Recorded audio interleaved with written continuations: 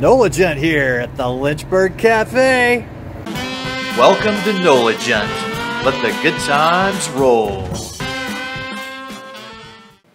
The Lynchburg Cafe is on the Lynchburg Town Square right next to Lynchburg's most famous attraction, the Jack Daniels Distillery, which I was in town to visit. I've been to Lynchburg before, but I've never been to the Lynchburg Cafe because it's a new restaurant. They just opened in March of 2020. I ended up at the Lynchburg Cafe after I had done my whiskey sampling over at the Jack Daniels Distillery, and I had run over in a dash to sample the barbecue caboose restaurant that I've been wanting to try for quite some time. And even though they close at 5 and I was a few minutes before 5, unfortunately the barbecue caboose had already shut down. So I was quite happy and relieved to discover that the Lynchburg Cafe stayed open until 6 p.m.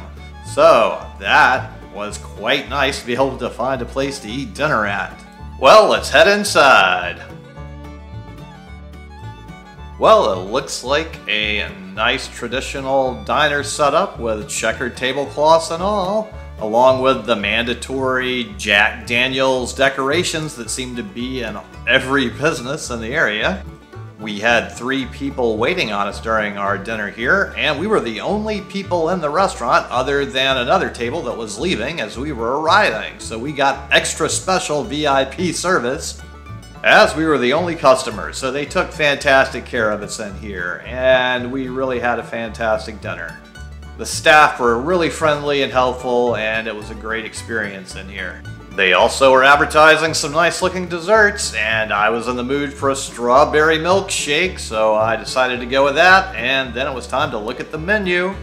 So, for appetizers, we have mozzarella cheese sticks, fried green tomatoes, spicy fried green beans, fried pickles, corn nuggets, onion rings, nacho cheese fries, bacon cheese fries, Salads, cafe salad, cafe salad with chicken.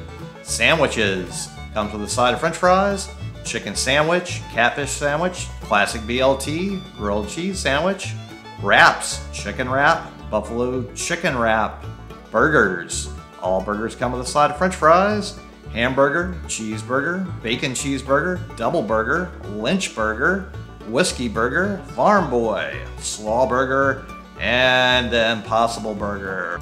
Then on the other side of the menu, we have baskets, chicken tenders, fried catfish, platters, ribeye steak, hamburger steak, Swiss chicken, grilled chicken breast, grilled pork chop, sides and extras, french fries, curly fries, tater tots, sweet potato fries, baked potato, loaded baked potato, fried okra, fried squash, coleslaw, hush puppies, catfish fillet, chicken tender, and kids' meals hamburger, cheeseburger, chicken tender, grilled cheese sandwich, corn dog, milkshakes and ice cream, hand up milkshakes and ice cream, vanilla milkshake, chocolate milkshake, strawberry milkshake, cookies and cream milkshake, scoop of ice cream, and then our beverages of Coke products, sweet or unsweetened tea, lemonade, coffee, and milk. Speaking of milk, I'm ready for my delicious strawberry milkshake. Ooh, this looks delicious. Mmm, nice. Very delicious. I considered getting the ribeye, but in the end I got the hamburger steak to try that out. It could have used some gravy, but other than that it was a perfectly delicious hamburger steak.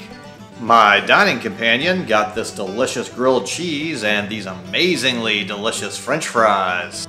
I'm going to borrow a french fry. These are fantastic french fries.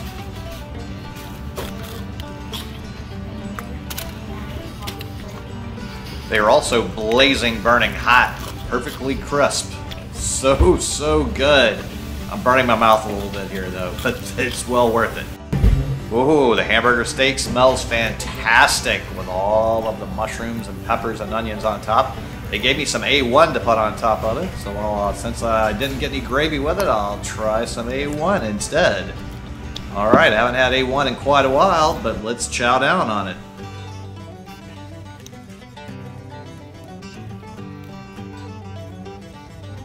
This meat looks and smells fantastic. And it does taste really delicious. The A1 is still pretty uh, good of a compliment to the meat as well. And all of the mushrooms, onions, peppers really complement the flavors as well. So this is a perfect taste combo here. They really use some good quality meat here, you can tell. This is very well done. Now let's get some of these uh, really nice crunchy okra. These are perfectly fried, just so very crisp and delicious looking. Let's do the taste test, and ooh, yes, these are perfectly cooked fried okra. My grandmother would be proud of them. This is the way they should be done. Excellent.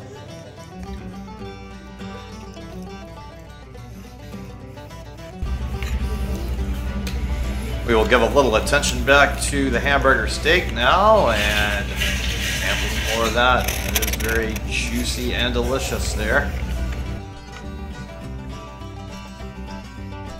From the way this hamburger steak is cooked so well, I can also determine automatically the hamburgers here have to just be amazingly fantastic. So at some point in the future, I'd love to try the burgers here. Um, this is really good food here. I can tell that they take a lot of time and effort to cook things properly and use really good quality ingredients here.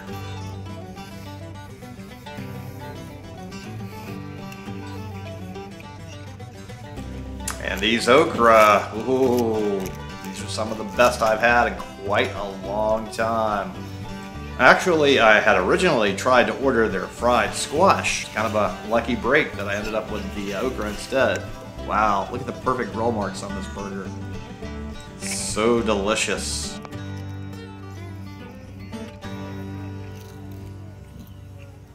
I think I could maybe eat about mm, five, six of these, no problem. Uh, I do think they could make a fantastic gravy here though, so the only suggestion I could possibly make is they should try to do a gravy. Not that white gravy stuff that a lot of people uh, use, but a brown gravy.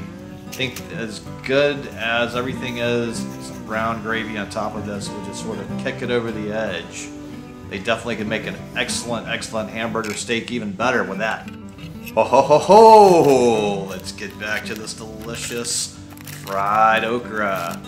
It's like really, if you fry anything, it's usually going to be better, right? The sort of the uh, miraculous powers of the frying. Uh, you know, I, am quite used to boiled okra as well, um, okra and gumbo. Uh, in New Orleans, we often uh, have uh, gumbo creole, where it's got uh, tomato and little shrimp in it. That's a fantastic dish as well. A lot of people don't like okra though because it gets a little slimy uh, when you cook it like that, whereas opposed to when you fry it, it's all just delicious, crispy, sort of like a snack in a lot of ways. It's more like eating potato chips than anything else. Where you know, I can totally get the uh, slime aspect if you're not used to it. Uh, however, I'm used to it in every way you can have it, and I like it all. I even like pickled okra.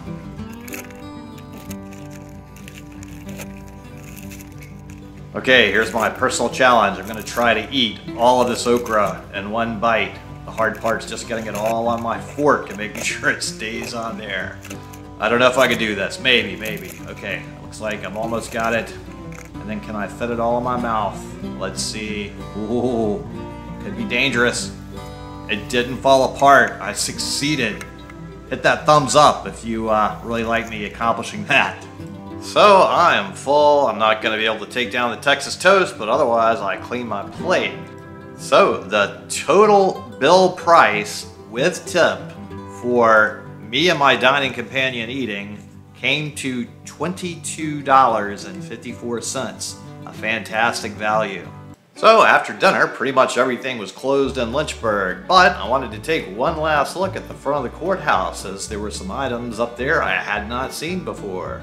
So this historical placard was in front of the courthouse, and this is the first time that I had noticed it, and it says Lynchburg, the heart of Moore County.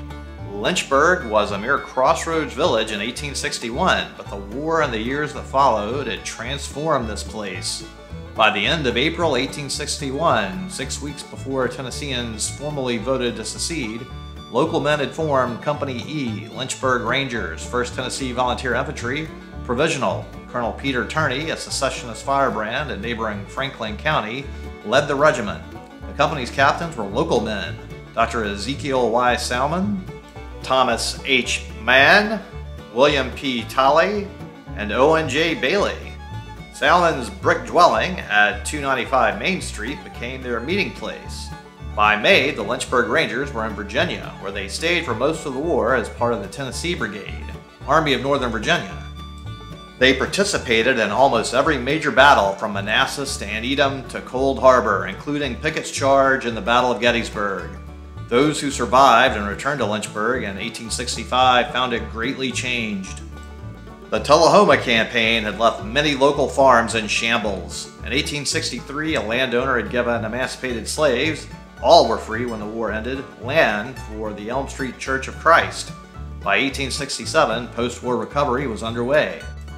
Salmon built a fine Greek Revival addition to his brick dwelling, which became the Grand Central Hotel, later Mary Bobo's boarding house. In 1871, the legislature created Moore County, and Lynchburg became the county seat in 1873. Wartime and Reconstruction traumas faded with improving conditions, personified by local resident Jack Daniels, whose distillery soon produced the Tennessee whiskey now known worldwide. I have two other videos on Lynchburg, one with a tour of the Lynchburg Town Square and one with the Jack Daniels Distillery, and there'll be a link to that playlist at the end of this video. Thanks for watching. I really appreciate it. And if you would just click on the little circle here with a picture of my head in there and subscribe to the NOLA Gent channel, it would really help me a lot. I really appreciate it. Thank you.